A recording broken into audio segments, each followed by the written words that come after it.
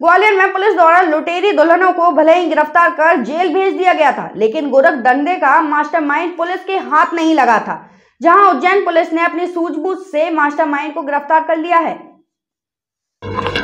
ग्वालियर ज़िले के बिलौआ थाना क्षेत्र में रहने वाले एक कपड़ा कारोबारी नागेंद्र जैन को लाखों रुपए का चूना लगाकर फरार हुई लुटेरी दुल्हनों को भले ही पुलिस ने गिरफ़्तार कर जेल भेज दिया था, लेकिन इस गोरख धंधे का मास्टरमाइंड पुलिस के हाथ नहीं लगा था। उज्जैन पुलिस ने दो दिन पहले मास्टरमाइंड संदीप को गिरफ़्तार किया था। संदीप के खिलाफ ग्वालियर के अलावा उज्जैन और इंदौर में भी धोखाधड़ी के मामले दर्ज हैं। ग्वालियर पुलिस आरोपी संदीप मित्तल को पूछताछ के लिए यहाँ लाई है। आरोपी संदीप ने पुलिस के सामने कई खुलासे किए हैं। संदीप का कहना है कि वह उम्र दराज धनाद है। घर के लोगों पर नज़र रखता था और उन्हें नंदिनी और रिंकी जैसी पहले से शादीशुदा लड़कियों के ज़रिए अपने जाल में फंसाता था।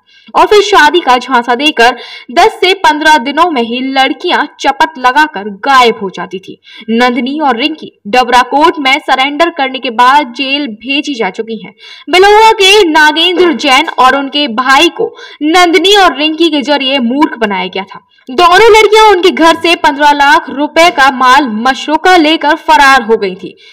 पुलिस का कहना है कि संदीप से पूछताछ की जा रही है, उससे कुछ और वारदातों का खुलासा हो सकता है।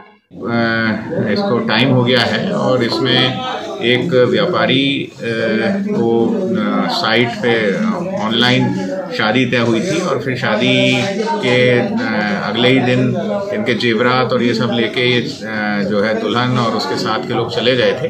बाद में उसमें कुछ गिरफ्तारियाँ हुई थी मुख्य आरोपी को अभी दो दिन पूर्व उज्जैन से गिरफ़्तार किया गया है और प्रयास किया जा रहा है कि जो जेवरात और पैसे व्यापारी से ऐंठे गए थे वो वापस मिल जाए ग्वालियर से लोकेंद्र सिंह कुशवाहा की report PK University. Build a great career at PK University. Admission open for medical science, B Pharma, M Pharma, BSc, BTech, MTech, and Polytechnic Diploma. Contact now www.pkuniversity.edu.in. Address Thandra Village, Jhansi Road, Shivpuri.